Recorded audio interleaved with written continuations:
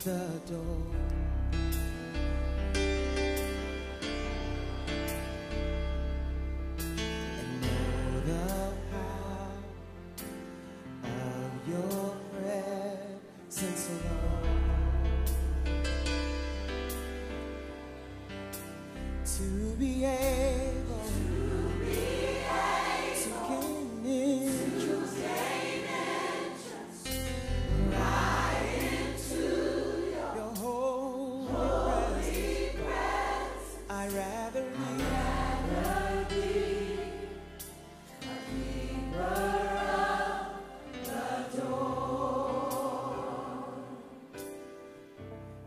Again this morning. I'd rather be.